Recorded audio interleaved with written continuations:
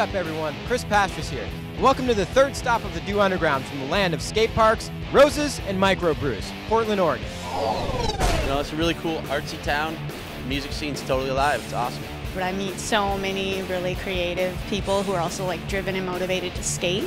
Follow me, Chris Pastras, as we dig in past the competition to bring you the sights, tastes, and sounds of each stop in a way only the Dew Underground can. We're talking artists, It's the sweet thing about this town. I mean, you can be an artist at pretty much any level, and there's somewhere for you. live music, Portland music scene's totally amazing. There's a lot of good bands that come from here. If you like metal, if you like reggae, underground, hip hop, it don't matter. It's all here. local skate spots, I always come to this park when I come to Portland because they just got a good eye for spots.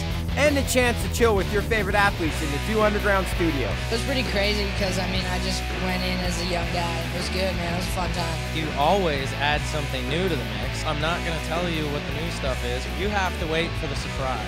All this brought to you fans like never before, only on the Dew Underground Portland. Hey, this is Todd Richards for the Dew Underground, kind of giving people a look at the other things that go on in Portland. For the real deal, log on to mountaindew.com.